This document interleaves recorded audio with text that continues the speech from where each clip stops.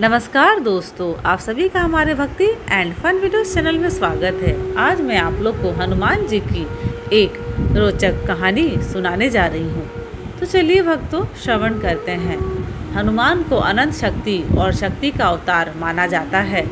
हालाँकि, हनुमान में कहीं अधिक गुण और गुण हैं, जो उनके चरित्र को आकार देने में प्रमुख भूमिका निभाते हैं। भगवान हनुमान को कई नामों से जाना जाता है। वाल्मीकि की रामायण में उन कहानियों का विस्तृत वर्णन है, जो हनुमान के विकास की ओर ले जाती है, जिन्हें हिंदू पौराणिक कथाओं में अपार शक्ति वाले भगवान के रूप में पूजा जाता है। तो आज हम जानेंगे हनुमान का जन्म और उनके बचपन की कहानी। हनुमान वानर केसरी के पुत्र और सुमेरु के राजा बृहस्पति के पोते थे।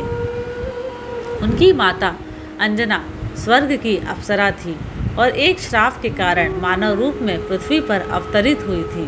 उन्होंने और उनके पति ने बारह वर्षों तक तपस्या और गहन प्रार्थना की थी, जिसके परिणाम स्वरूप शिव ने उन्हें वरदान के रूप में एक बच्चा दिया। वह बालक स्वयं हनुमान थे, जिसके कारण उनकी व्याख्या स्वयं भगवान शिव के प्रतिबिंब या छाया के रूप में भी की जाती है। अन्य पौराणिक कथाओं में अक्सर हनुमान को पवन के देवता वायुदेव का पुत्र कहा जाता है। क्योंकि पवन देवता द्वारा अंजना को पवित्र खीर देने की लोकप्रिय कहानी है, जो राजा दशरथ के पुत्र काम यज्ञ के अनुष्ठान से उत्पन्न हुई थी। वही खीर राजा दशरथ की तीनों पत्नियों ने खाई थी, जिससे राम, लक्ष्मण, भरत और शत्रुघ्न का जन्म हुआ। यह खीर उन्हें शिव की प्रार्थना करते समय दी गई थी, जिन्होंने वायु देवता की ऊर्जा को अंजना के गर्भ में प्रभावित किया था। इसलिए हनुमान को वायुपुत्र के नाम से भी जाना जाता है। हनुमान की बचपन की कहानियाँ बड़े मनोरंजन का साधन है, जो दादी नानी बच्चों को सुनाते हैं। हनुमान बहुत साहसी और बेचैन बालक थे। ऐसा माना जाता है कि उसने सूरज को पका हुआ आम समझ लिया था और उसे खाने के लिए उसने पीछा किया। राहु, एक वैदिक ग्रह भी उस समय एक निर्धारित ग्रहण के लिए सूर्य का पीछा कर रहा था और हनुमान ने पहले सूर्य तक पहुँचने के लिए उसे पीटा।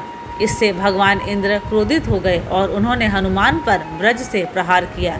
हनुमान बेहोश होकर पृथ्वी पर गिर पड़े और उनकी ठुड्डी भी क्षतिग्रस्त हो गई, जिससे उस पर एक स्थायी निशान बन गया।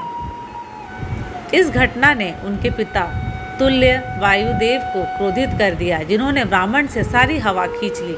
जब सभी मनुष्य और जानवर हवा के लिए संघर्ष करने लगे तो भगवान इंद्र ने अपने व्रज का प्रभाव वापस ले लिया और हनुमान को पूर्ण जीवित कर दिया और पवन देवता को शांत करने के लिए देवताओं ने उन्हें कई वरदान भी दिए। ब्रह्मा ने हनुमान को ब्रह्मा का अपरिवर्तनीय श्राप प्रदान किया, जो यह सुनिश्चित करता है कि युद्ध में कोई भी उन्हें किसी भी हथियार से नहीं मार पाएगा। उन्होंने शत्रुओं में भय पैदा करने, मित्रों में भय नष्ट करने और कहीं भी यात्रा करने के लिए अपना रूप बदलने में सक्षम होने की शक्ति का भी आशीर्वाद दिया। शिव ने दीर्घायु, शास्त्रीय ज्ञान और समुद्र पार करने की क्षमता का वरदान दिया और एक बैंड भी दिया जो जीवन भर उनकी रक्षा करेगा।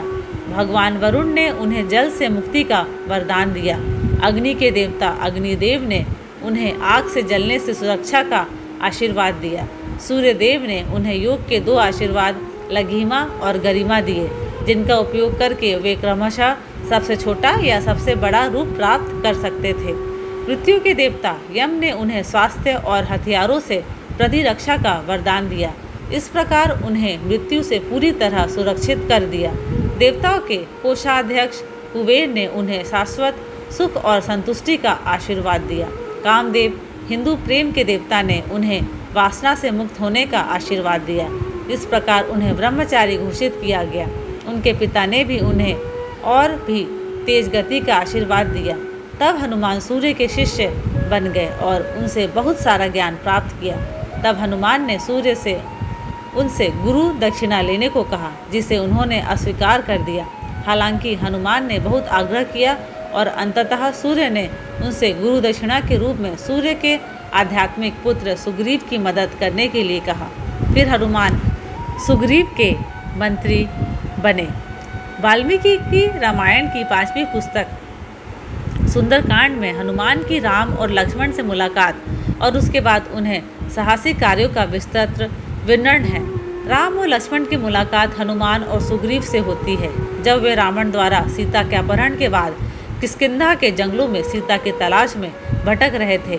सुग्रीव को पहले राम और लक्ष्मण की पहचान पर संदेह था और वह उन्हें अपने भाई बाली द्वारा भेजा गया जासूस समझ रहा था। हालाँकि हनुमान को विश्वास था कि वे दोनों बाली के जासूस नहीं हो सकते, क्योंकि वे प्रतिष्ठित योद्धाओं की तरह दिखते थे। हालाँकि और अधिक आश्वस्त होने के लिए सुग्रीव ने हनुमान को उनकी वास्तविक पहचान और उनकी यात्रा के उद्देश्य के बारे में पूछताछ करने के लिए एक ब्राह्मण के वेश में भेजा।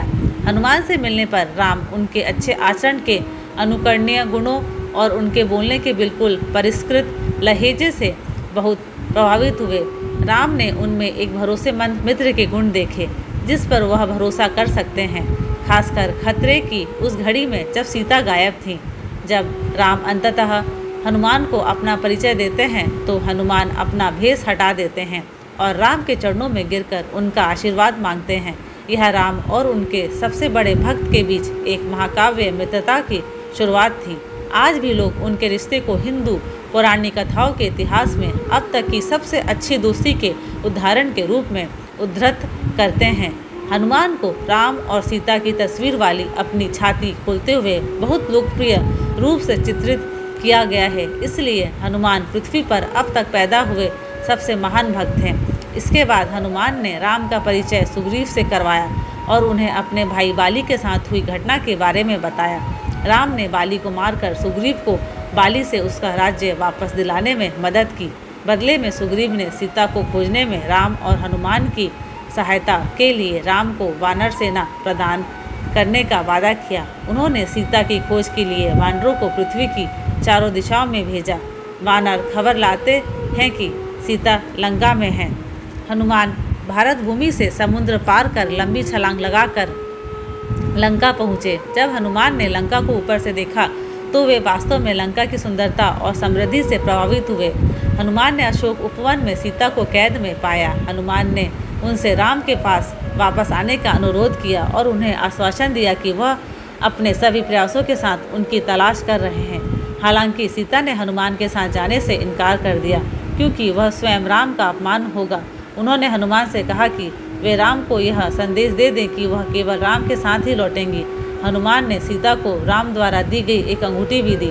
सीता से मुलाकात के बाद लंका में सारा कहर टूट पड़ा और हनुमान ने पूर्ण विनाश करना शुरू कर दिया। उन्होंने अकेले ही लंका के महलों और संपत्तियों को नष्ट कर दिया और जम्बूमाली और अक्ष कुमार सहित कई राक्षसों को भी मार डाला। हनुमान भी रावण के पुत्र इंद्रजीत को पकड़ने का नाटक करते हैं ताकि स्वयं दुष्ट रावण से मिल सके। जब वह रावण से मिले तो उसने उसे सीता को छोड़ने का अल्टीमेटम दिया और उसने यह कहकर उसकी ताकत को भी कम कर दिया कि अगर वह सीता को सम्मानपूर्वक लौटा देगा तो वह उसे माफ़ कर देगा। इससे रावण बहुत क्रोधित हुआ और हनुमान की पूछ जलाने का आदेश दिया। हनुमान थोड़ी देर के लिए इसे जलने देने के बाद एक छत से दूसरी छत पर कूदते हैं। लंका के बड़े हिस्से को जलाते हैं, साथ ही अपने बंधकों को से बज भी जाते हैं। जिसके बाद वे राम के पास जा, वापस आ जाते हैं और फिर से समुद्र पर छलांग लगाकर भारत वापस आ जाते हैं। रावण के पुत्र इंद्रजीत के खिलाफ युद्ध के दौरान लक्ष्मण गंभीर रूप से घायल हो गए थे। राम ने हनुमान को हिमालय के द्रोणागिरी पर्वत से एक शक्तिशाली जीवनदायी जड़ी बूटी संजीवनी लाने के लिए भेजा। जिसके उपयोग से लक्ष्मण के स्वास्थ्य को बहाल किया जा सकता था। यह सुनकर रावण ने लक्ष्मण की मृत्यु की योजना बनाई, क्योंकि इससे राम इतने दुखी हो जाते कि युद्ध करने में असमर्थ हो जाते। वह समय पर जड़ी बूटी खोजने के, हनुमान के प्रयासों को बाधित करने के लिए डायन कालनेमी को भेजता है। कालनेमी एक ऋषि के भेष में, शुरू में हनुमान को मूर्ख बनाने में सफल हो जाता है। हालाँकि हनुमान एक अप्सरा की मदद से क्षण वेश का पता लगाते हैं। जिसे उन्होंने मगरमच्छ की शापित अवस्था से मुक्त कराया था और फिर उन्होंने कालनेवी को मार डाला। रावण फिर भी अपने प्रयासों से पीछे नहीं हटता है और सूर्य को अपने समय से पहले उगने के लिए कहता है। रावण जानता है कि यदि दिन के समय तक इलाज नहीं किया गया तो लक्ष्मण दम तोड़ देंगे। हनुमान को इस खतरे का एहसास होने पर सूर्यदेव को प्रकट होने से रोकने के लिए खुद को अपने सामान्य आकार से कई गुना बड़ा कर लेते हैं। और फिर जब उन्होंने उस बहुमूल्य जड़ी बूटी की खोज जारी रखी तो उन्हें एहसास हुआ कि वह उस विशिष्ट जड़ी बूटी को नहीं पहचान पा रहे हैं, जिसकी लक्ष्मण को ठीक करने के लिए आवश्यकता थी। इसलिए अपनी समस्या के समाधान के रूप में वह अपनी असीम ताकत के कारण पूरे पर्वत को उठा लेता है और पर्वत को लंका के युद्ध क्षेत्र में रख देता है, जहाँ चिकित्सक सुस्टेन जड़ी बूटी की पहचान करता है और लक्ष्मण को वापस जीवन में लाने के लिए इसका सफलतापूर्वक उपयोग करता है। राम सदैव हनुमान के आभारी रहे और उन्होंने अपने प्रिय भाई को बचाने के लिए हनुमान को गर्मजोशी से गले लगाया। तब हनुमान ने सूर्य को अपनी शक्तिशाली पकड़ से मुक्त कर दिया और उनसे क्षमा मांगी, क्योंकि सूर्य उनके शिक्षक थे। धन्यवाद। आशा करती हूँ कि आपको ये मेरे वीडियोस पसंद आते हैं। अगर आपको ये मेरे वीडियोस पसंद आते हैं तो प्लीज़ लाइक शेयर और सब्सक्राइब ज़रूर करें। जय बजरंग बली जी, जय सिया राम। हर हर महादेव।